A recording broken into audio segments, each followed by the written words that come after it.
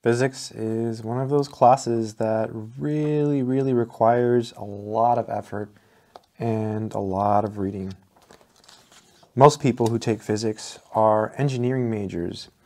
I know this because I taught a lot of calculus courses and a lot of the students in my calculus courses take physics and most of them are engineering majors. So you'd be surprised. There's actually not that many people who are actual physics majors. Same thing with math, right? There's not that many people who are math majors. Math majors and physics majors are pretty rare. So this is a book that you can use to learn physics. And in this video, we're going to take a look at it. It's called Physics. This is an older edition. It's by G.M. Giancoli. There's newer editions out now, and I don't really think it matters so much um, what edition you get. What I'll do is I'll leave a link in the description of this video um, to an edition of this book in case you want to check it out because you can use this to teach yourself physics. It's got so much material in it, it's pretty ridiculous. Physics Principles with Applications, Douglas C. Giancoli, 5th edition. Physics was the first class in college uh, that I took where I felt that even when I worked really, really, really, really hard, I wasn't getting the results I wanted. And I think everyone gets to that point, and I got to that point in physics. And looking back, it's because I didn't really know calculus, um, and my algebra was weak, and my math was really bad. So if your math is weak, or your algebra is bad, and your calculus is bad, then you're going to struggle with physics. But if you have strong math skills and the desire to learn physics, then I think that this book might be worth it because you can learn some physics. Let's take a look at the contents.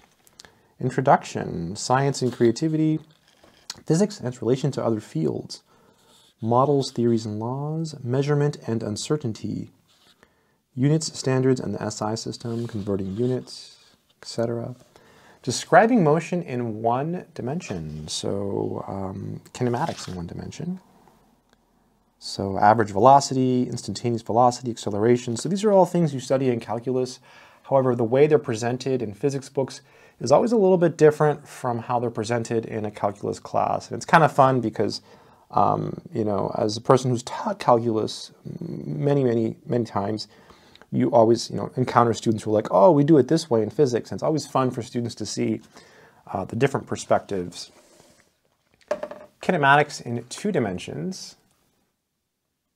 So a little bit more involved there. And then motion and force dynamics. So force, Newton's first law of motion. Mass, Newton's second law of motion. Newton's third law of motion. Let's turn the page here, look at some more of the contents. This has a lot of physics, okay? So this is an incredible amount of information. Circular motion, gravitation, and then we have work and energy. And there's other good physics books too. This is just one that I'm pretty sure um, the copies are fairly affordable on the internet. So if you want to buy one that's inexpensive, I think this one might be a good choice right now. Uh, linear momentum. Also, it's a good book. Some of the subscribers here have uh, left comments about this book. Rotational motion. And over here we have bodies in equilibrium, so elasticity and fracture. Then we have fluids. Sorry, I just give it a whiff here. Ah, it's a nice model. It has a nice new book smell, even though it's old and used. The pages are really good quality. It's a good quality book. It's bound well. It's not going to fall apart. So fluids. Ooh, Pascal's principle. Good stuff here. Vibrations and waves. Some more of the contents there. Sound. I remember studying sound when I was a student, thinking, "Oh, I think I, I think I liked studying sound. I, I feel like I did better on that test or something." You know, I have fond memories of sound. Uh, it's kind of funny. It was a struggle. Physics is a struggle. Temperature and kinetic theory. Heat. Heat. We have the laws of thermodynamics a lot of content in this book, right? Electric charge and electric field. Then we have electric potential and electric energy. Electrical currents. DC circuits. I have a friend who is it's it's funny. He's he's not a physics guy, but like he knows so much about electricity. Um, and he can he can build things. I mean, he's he's built several things. He's, he builds all kinds of like circuits and stuff for like actual things he uses in the real world. It's pretty amazing. Magnetism. I always think of the X-Men for some reason. I think about physics, right? So, uh, electromagnetic induction and Faraday's law, AC circuits. Electromagnetic waves. I actually have some of Faraday's books. Light, geometric optics. The wave nature of light. You see, it's a, just a, it's a super thick book here. Optical instruments special theory of relativity, then early quantum theory and models of the atom, quantum mechanics of atoms. So you see it has a lot of, con it keeps going, there's more, there's more. It's just so much, so much knowledge in here. Molecules and solids, nuclear physics and radioactivity, nuclear energy, effects and uses of radiation, elementary particles, and then we have astrophysics and cosmology. And there's a mathematical review. So for all of the math people, this is a math channel. So there's the stuff you might be familiar with. If you don't know any physics, you'll probably know some of this stuff, right? So, um, you know, basic stuff there. You can see it zoom in here. So you can see some of the math um, that is reviewed in this book. Um, the book has answers to the odd numbered problems, which is really nice. So they're in the back of the book. Here's an example. So you can see um, some of the examples in the book. So kicked football. So there's a, an image there. And it says a football is kicked at an angle of theta naught. I remember the first time learning that that's pronounced theta naught was in a physics class. They just said naught. I'm like, oh, the zero is naught. It's pronounced naught. Theta naught equals 37 degrees with the velocity of 20 meters per second as shown in figure 322, which is, which is the figure up here. Okay. And it says calculate the maximum height, the time of travel before the football hits the ground, how far away it hits the ground, the velocity vector at the maximum height, and the acceleration vector at the maximum height. Assume the ball uh, leaves the, uh, the foot at ground level. So pretty cool, right? And it just goes through everything gives you formulas. It says this question may seem difficult because there are so many questions. but we can deal with them one at a time. I, I love Giancoli. It's great. I don't know why I thought that was so funny. We take the y direction as positive upward.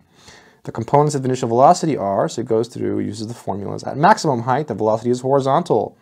So v sub y is equal to zero.